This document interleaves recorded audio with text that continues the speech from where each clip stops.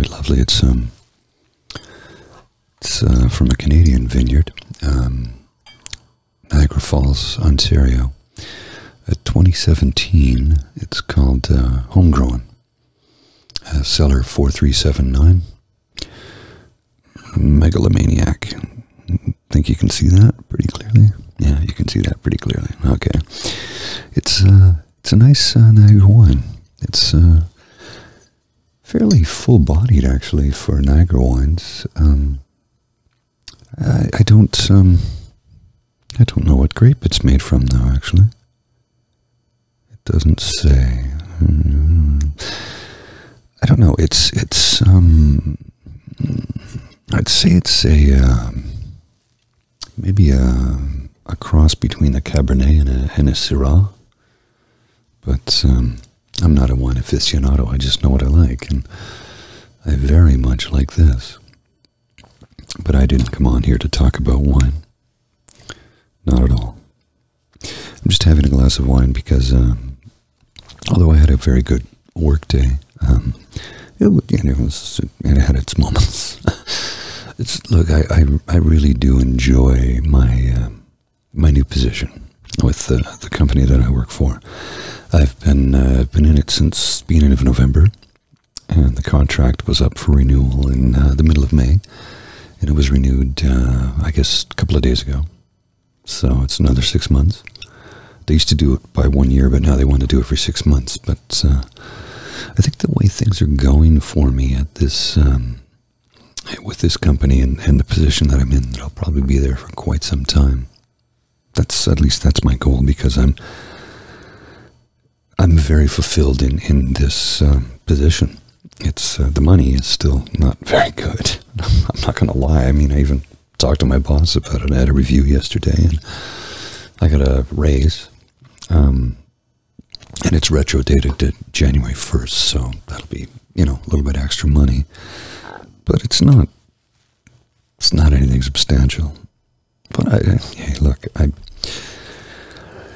I, I do know that I uh, technically, uh, technically, actually, truthfully, could leave and go somewhere else and earn substantially more money.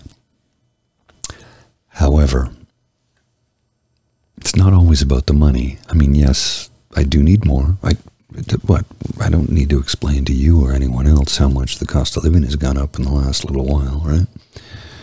Things are just considerably more expensive. Well, just the other day, I picked up groceries. I spent 105 Canadian dollars on two bags, and it was not extravagant. Uh, there were four cans of beer, and the rest was all food and nothing, again, nothing extravagant at all. A couple of frozen pizzas for five bucks a pop. I think the most expensive item might have been the seven dollars I spent on uh, hot Italian sausages, six of them. So a dollar and you know, dollar and a couple of pennies for um, six sausages. It was six ninety nine plus tax. So Anyway, what I'm getting at is two bags of groceries. That'll only feed me for a few days. So, yes, more money would be lovely, but at this stage of my life, it's job satisfaction is much more important. If um, if I have to get up and go to a job that I hate, it's not worth it. Even if it pays me ten times the amount of money. I, and I know that sounds ridiculous, but it's absolutely true. Um, your job satisfaction and quality of life are not always tethered, heavily tethered, I should say, to, to your income. I, I earn enough money to keep a roof over my head, food in my belly, and occasional change of clothes, and this stuff that I have in front of me, but I, am not even middle class. I'm. Uh, $15,000 shy of middle class. You can do the math to figure that one out if you like. I'm not going to do it for you. Maybe maybe 12, 12, 15. Anyway, it's it's it's uh, it's far enough away that I won't be getting there anytime soon. I'm not complaining. I mean, I still have a very good quality of life. And uh, I do know that in, in two years' time, um, I, I, hope to uh, I hope to be able to replace uh, my my day job income with this uh, and and the uh, the podcast work that I do, so that uh, won't be quitting the day job.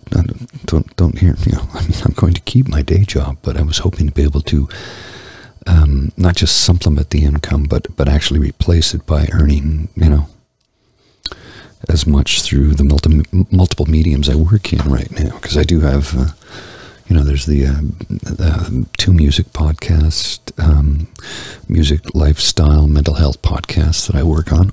Let me just uh, pan out a bit there. And uh, of course, there's the uh, political podcast I produce, edit, and contribute to, which we uh, we were just picked up by a um, the largest podcast network in Canada. Um, just a couple of days ago, it was officially announced on uh, Monday. Actually, it's been in the works for a while, and, and we had negotiated uh, to to get on the network. Um, you know, it was like we're yeah we're eager to do it, and uh, very happy. Anyway. Um, I, I try and compartmentalize things, which is why if you want to seek out my political podcast work, certainly feel free to do so. Um, but I'm not going to link it directly because this this milieu that I'm working in, this YouTube, this mental health ASMR is there's no political lines here. This is for everybody who needs help. This is for everyone who needs some peace, calm, and relaxation in their lives. This is for everybody who, when they get home from work or come home from a tough day of whatever it was that you did, you have a chance to listen to this and relax. I'm not. I'm not one to really, I, and I do have a number of friends that keep continuing to ask me to do more uh, um, meditations, self reflections, uh, things of that nature. And I, and I intend to do that, but it's something I'm I'm learning to embrace because it's not it's not within my nature to do it. If that makes any sense, it's not really um, it's not really me. One second, I, I just got to clear my throat here. It's getting rough. That's a little better.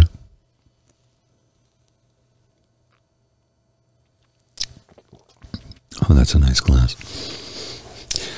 So yeah, it's it's um, it's not really me to to to be that hippy dippy trippy guy, if you will. It's just not who I am. I am a pretty chill guy. Uh, I think most uh, most of you would, would would certainly probably take that or get that or understand that from from this. I do have my moments. I mean, um, did, I did have untreated depression for 42 years. Um, 40, no, I was untreated for 40 years, I should say. Apologies. I've been under treatment for the last two. So 40 years of untreated depression, um, diagnosed 25 years ago. And uh, um, I, I, tried medication for about two months, 25 years ago, and it, uh, the results were terrible. Um, and as a result, I decided that no, I'm not going to do that. I'm going to, you know, uh, you know, knowledge is power, and knowing what is wrong with you can sometimes very much be um, the catalyst to help you start fixing and repairing things. And I did what I could for the longest time, and I knew I had a lot of bad days, and I would, I would talk to people. And I remember when I first tried to talk about it in the '90s, nobody wanted to hear it, and I get it. And then through the campaign of a uh, large multi-billion-dollar conglomerate, whose name I shall not mention because they're not paying me to do it, so I'm not mentioning them.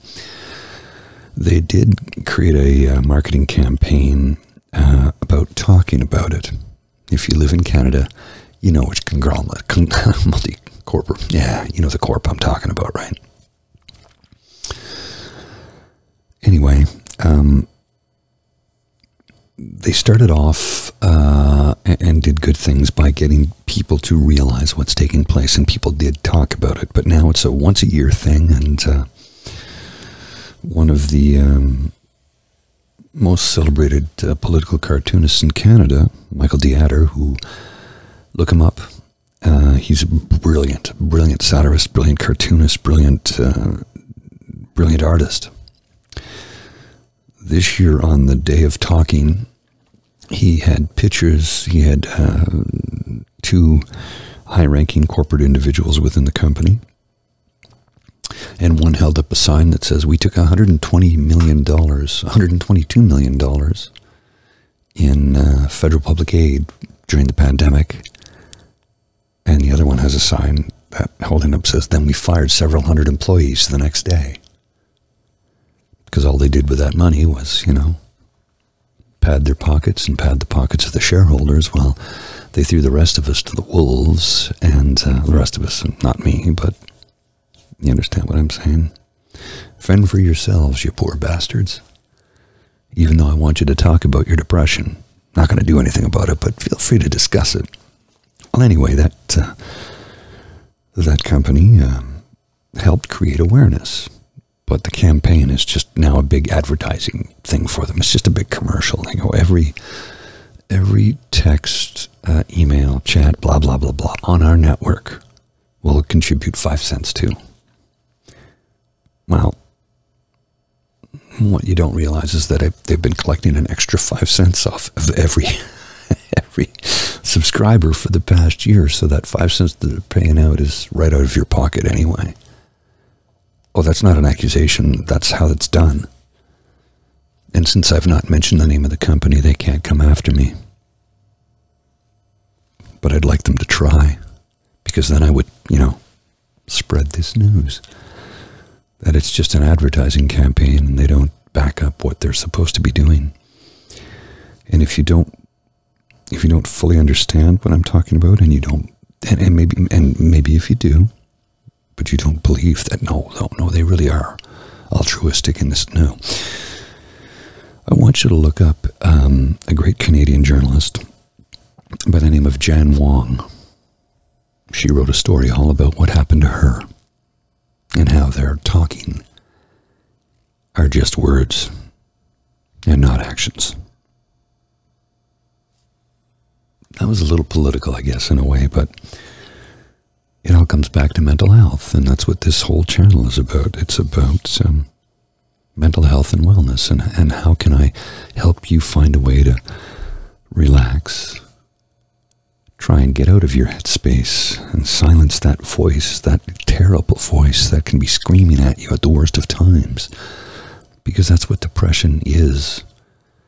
It's your own voice in your head telling you, you suck, you're a loser amongst many other terrible things that I'm not going to say.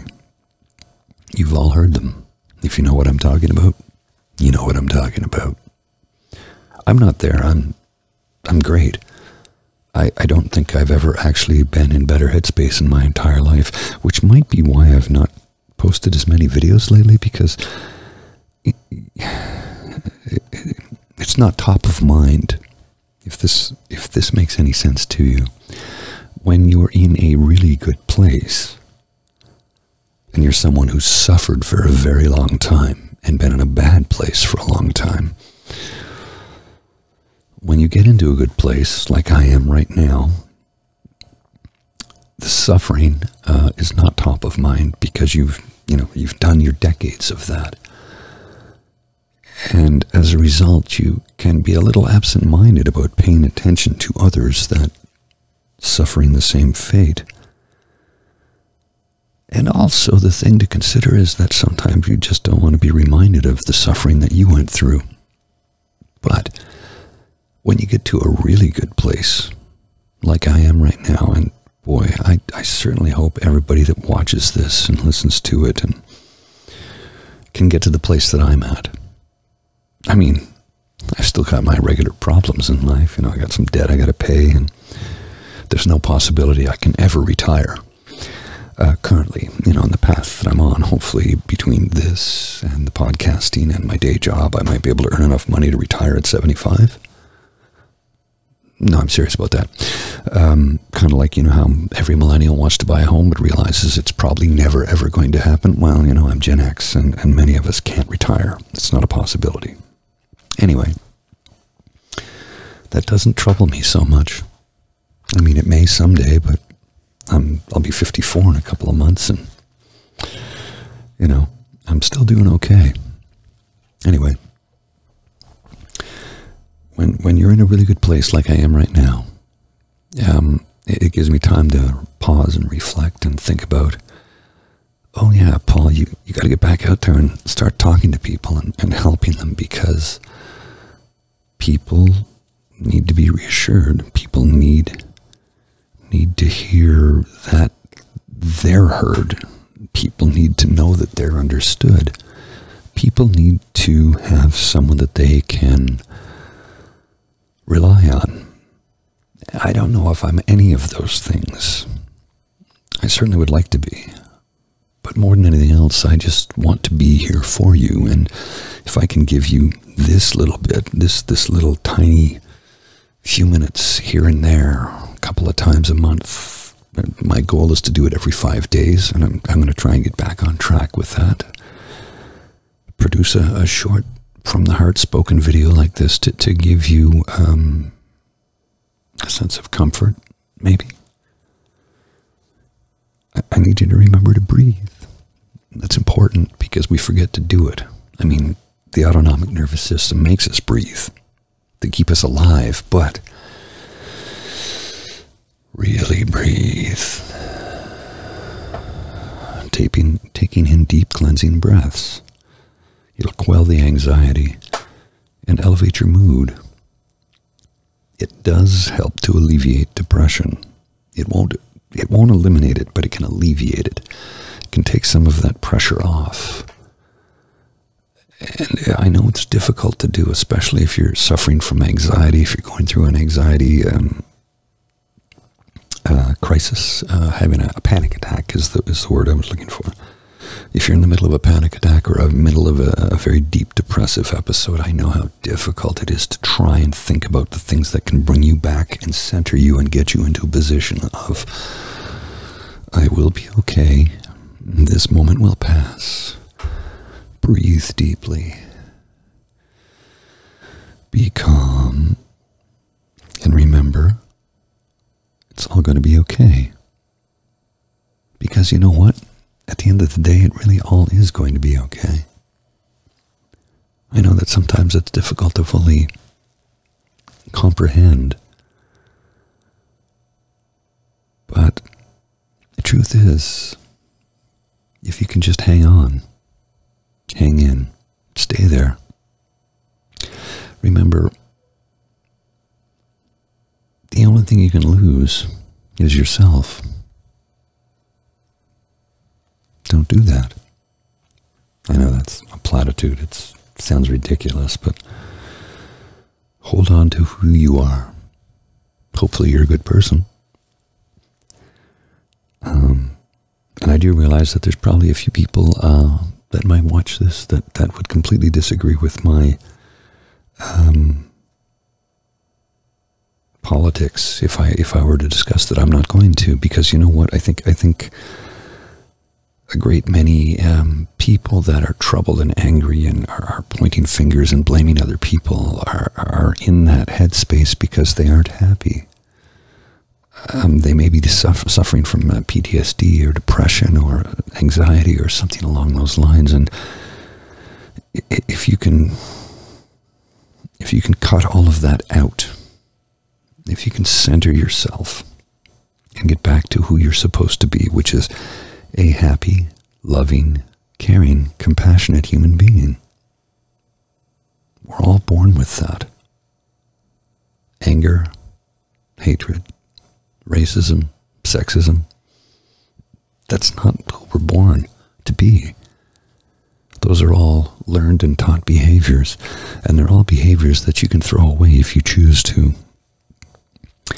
And everyone I have ever spoken to in my life who has made the conscious decision to throw those emotions away and, and give in to compassion, kindness, and learn to love themselves. You can't love anybody until you love yourself first. And that's absolutely true. And maybe age and experience teaches you that. Maybe some, pe- some people know it right away. And those are very lucky individuals. I guess what I'm really trying to say is I just want to help people. Yeah, even even the bad people, I want to help them get to a good place. Because with what I'm doing here, hopefully I can do that. Hopefully I can help people find who they're supposed to be. Be who they're supposed to be. Which is a loving, caring, compassionate human being. Okay, I'm beginning to sound like a broken record, and I do want to top up my glass, so I'm going to bid you adieu. This is where we will part ways today, my friends. I will, uh, I will see you very soon. I promise you that. Cheers. Take care.